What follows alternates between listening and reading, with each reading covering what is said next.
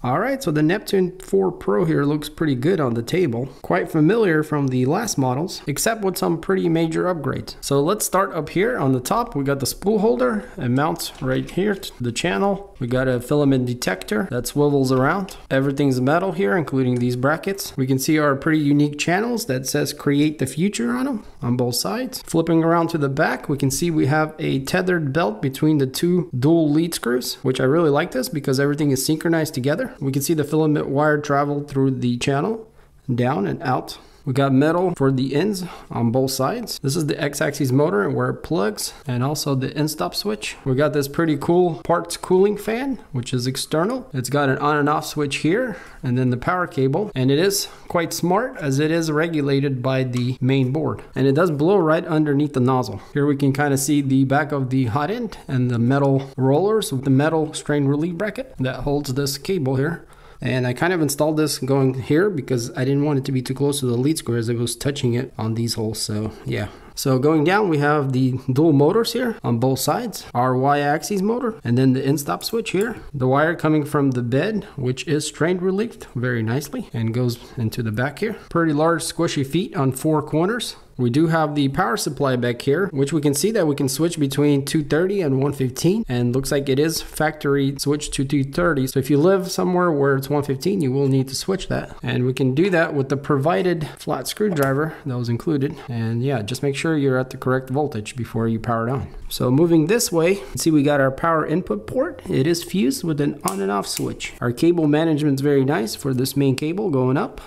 So going back to the front, here right on the top we can see the relief bracket. Then here we have the input for the filament and this is the extruder arm to release it. We've got a little gear here that we can see when the filament's flowing, very nice. And going down here we can see blower fan for the parts cooling on both sides. And behind here, we can kind of see the induction sensor. And underneath, we got the heat block, which is silicone socked with the nozzle. And also we got a little light here. And you guys can see where the fan blows out here on both sides. Also, this little hole here is where you can adjust the tension on the extruder. So going this way, we have the X-axis end stop switch, metal rolled rails, adjustment for the belt here. Going down to the bed, we do have a 225 by 225 by 265 build volume. And the build plate itself is a textured PEI sheet, which does pop off. It is magnetic and it's flexible and it's just a chrome finish on the other side. But yeah, I love these beds. They work great. Underneath that, we got the magnetic mat and then our heated aluminum bed, which is not insulated. And for this size, it's not a big deal. The frame seems to be pretty thick and straight.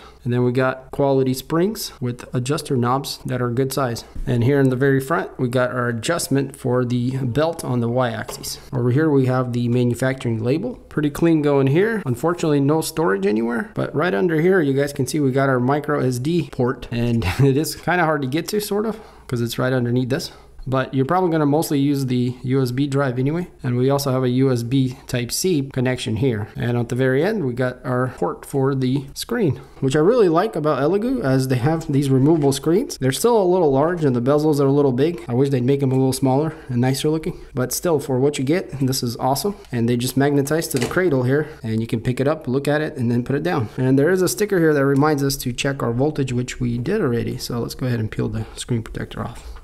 So going from the screen this way, you can see we have an ethernet port and that's going to be if you want to connect your printer to your router and have access through it through a web portal, which there is quite a few features, especially this being a Klipper printer. So yeah, overall a pretty feature packed printer. Put this bed back on. I wish there was something to butt against as it's kind of hard to line it up perfectly every time. But yeah, I mean, the Pro here definitely brings some really cool things like these metal rails with metal rollers on the X and Y, which should really give us more precision and longer life overall. So for the next part, I'm gonna plug it in, we'll power it on, preheat it, check, make sure everything works, and level the bed. All right, so I got the printer plugged in. Let's go ahead and power it on. I can hear the fans. We got the logo here on the display. And there we go. So it took about 30 seconds or so to start up. Um, the first thing I'm going to do is go to settings and turn down the brightness under advanced settings here so I can film the screen a little better. And you guys can see here we can also turn on and off the key sounds. So what's great about Elegoo is that they're able to integrate the Klipper software seamlessly into their design. If you used the Elegoo printer before, this is very intuitive and easy to understand. So here on the main menu we can see we got print, prepare, settings, level, and our temperature and location parameters there. So let's go ahead and click on prepare and we'll click home all in the middle. And we'll see, make sure everything works. So Z went up, X, Y, and now coming down. And looks like that's working also. Down here we can see it says temp. I'm gonna click on that and now we're going to preheat everything. And I'm just gonna click on ABS here and it's gonna start preheating 240 on the nozzle and 80 on the bed. And if we go back to the main menu, we can see here that our nozzle and bed are rising in temperature. So yeah, looks like everything is working, which is perfect. So for the next part, let's go ahead and do the bed leveling. And we're gonna click on the level here. It's asking us to confirm. It's gonna move into position. And here we get a new menu that shows us the offset. And then we got a couple choices of auxiliary and automatic. So the first thing we want to do is do the auxiliary leveling, which is going to be the manual one with these knobs. And then we'll click on automatic and finish that. So let's click on auxiliary. This kind of explains to you how to do it.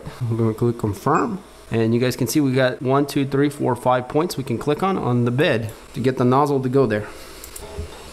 So you're gonna need some kind of piece of paper. I'm just using this little post-it note. And so what we're gonna do is click on one and then two, three, four, and just keep going around until it's pretty much perfect. So I'm gonna click on one. So we're gonna stick our little paper between the nozzle and the bed.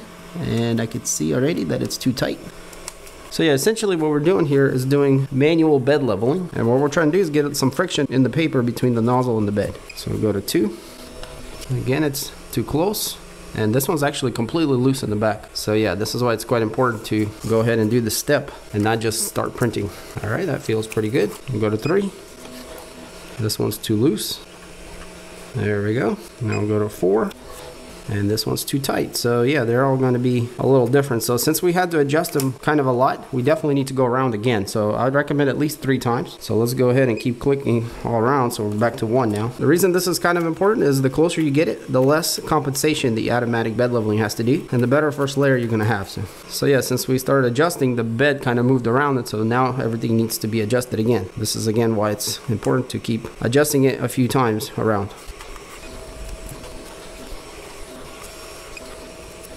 All right, so we're starting to get really close as everything feels pretty good. It just needs to be slightly, slightly tuned. So that means we're ultra close and you know if you go at least three times it should get you there but I just keep going around until everything feels the same and it's such a tiny slight adjustments at this point so yeah we're pretty much there and we can go ahead and hit the home button in the middle and see what our home feels like so mine is just a little bit loose, which is okay because the auto bed leveling will compensate for any kind of dips or heights in the build plate. All right, so now we're going to go back and it's actually going to prompt us to do auto bed leveling, which is pretty cool. So we're going to confirm. If you don't get this prompt, just go back and click on auto leveling. So yeah, we're going to confirm to do auto bed leveling. So this is going to take a little while as there's a few points to go through, but yeah, it's just going to go around the build plate and probe it and take measurements. And then when it's printing, it's going to offset that as it's putting the first layer down. And I don't know if you guys can see, but there's a total of 36 points that it's to take. So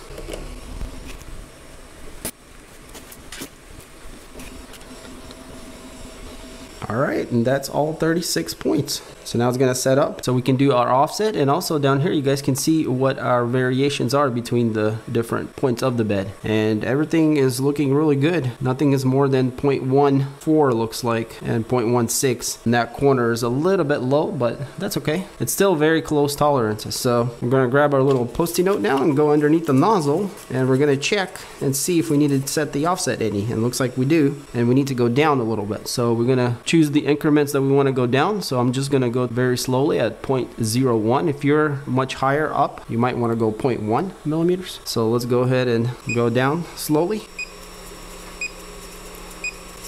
And actually, I think I'm a little higher, so I'm going to go 0.1 millimeters at a time. There we go, it's grabbed it. Back to 0.01, now I'm going to go up because now it's a little too tight. And we're starting to be pretty much perfect, I think. Yep, that does feel really good. So you want the same drag that you kind of did all around. So just the papers with some slight drag. So our offset ended up being minus 1.750. So yours is going to be different. Every printer is different. And this is why you calibrate it to each one. So once you do all this, you're pretty much done. And all you got to do is click the back button and it's going to save everything. So we're gonna confirm the save. And we go back to the main menu.